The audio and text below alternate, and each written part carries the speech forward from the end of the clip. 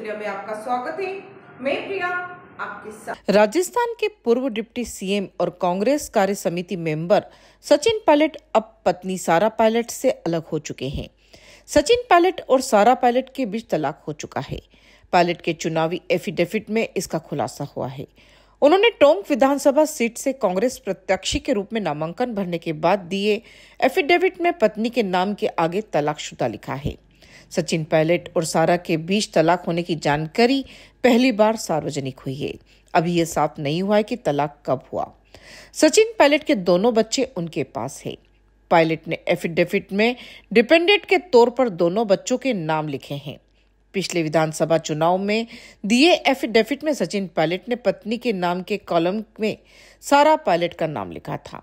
इस बार पत्नी के नाम के कॉलम में तलाकशुदा लिखा है।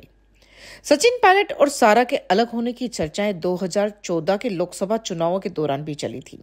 उस वक्त उन्हें अफवाहें बताकर खारिज कर दिया गया था। पायलट ने सारा से जनवरी 2004 में शादी की थी।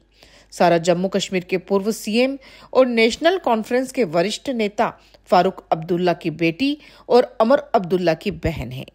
इसी के साथ बने रहिए एशिया न्यूज़ इंडिया के साथ। धन्यवाद।